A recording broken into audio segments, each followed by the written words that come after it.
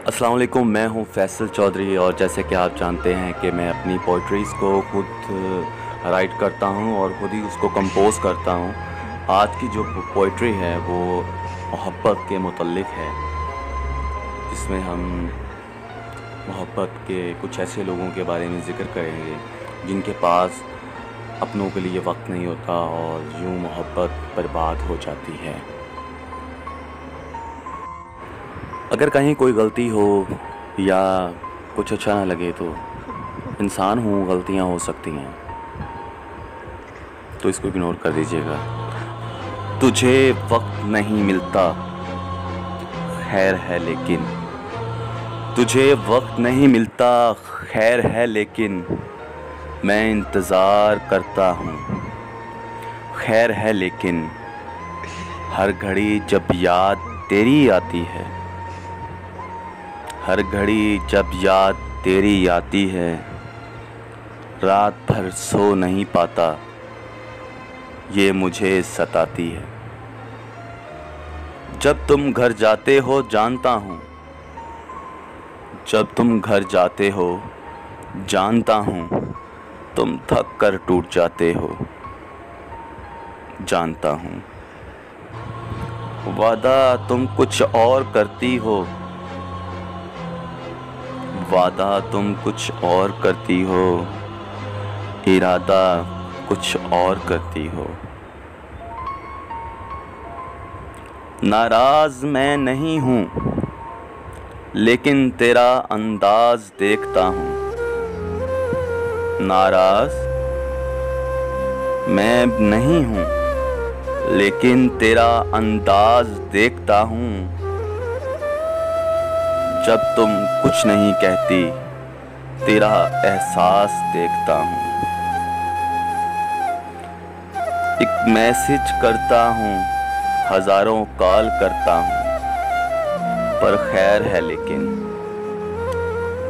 दो मिनट का हाल ही पूछ लिया करते कि कैसे हो याद तो करते हो, पर खैर है लेकिन मेरी सोच तुम पर मुनहसर है। मेरी सोच तुम पर मुनहसर है। पर किसी को इतना बेबस नहीं करते है फैसल कि खुद से खुद लड़ता जाए, कि खुद से खुद लड़ता जाए, खुद से खुद ही तड़पता जाए। तू सो जाती है जब रात को। तू सो जाती है जब रात को, मैं जाग कर याद करता हूँ। तुझे क्या पता? तुझे क्या पता रब से कितनी फरियाद करता हूँ? पर खैर है लेकिन, अभी अंदाज़ा नहीं है तुझे मेरी मोहब्बत का। तो खैर है, लेकिन हम यूँ ही मोहब्बत करते जाएँगे ए फैसल। हम यूँ ही मोहब्बत करते जाएँगे ए फैसल। शायद बदल जाओ तड़प से, लेकिन उम्मीद कहती है कि तेरे दिल में कुछ नहीं है। उम्मीद कहती है तेरे दिल में कुछ नहीं है मेरे लिए। जज्बात मोहब्बत से खाली हैं, पर खैर है लेकिन। अब हम यूँ ही बेबस होकर चुप कर जाएँगे। अब हम यूँ ही बेबस होकर चुप कर जाएँगे।